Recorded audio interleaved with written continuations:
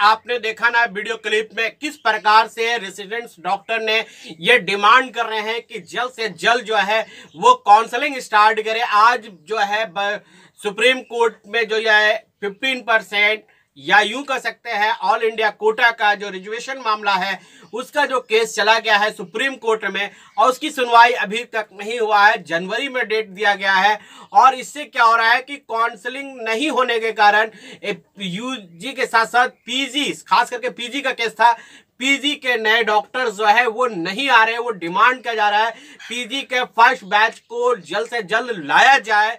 आप देख रहे हैं कि देश में कोविड का केसेस बढ़ते जा रहे हैं, ऐसे भी हमारे देश में डॉक्टरों की बहुत बड़ी कमी है। उसके बावजूद भी गवर्नमेंट इस बीच ध्यान नहीं दे रही है।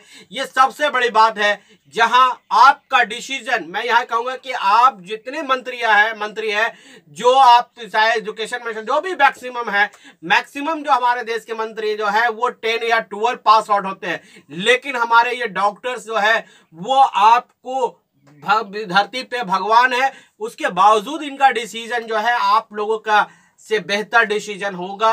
ये तो तय है सो स्टूडेंट्स वीडियो को ज़्यादा ज़्यादा ज़रूर शेयर करें, ताकि हम सब जो है ये डिमांड करें और अपने तरफ़ से अपने जो जितना हो सके एक दूसरे का कॉपरेट करें, क्योंकि डॉक्टर्स को का काउंसलिंग होना, यानी यूजी और पीजी जो है नीट का काउंसलिंग होना बेहद ज़रूरी है।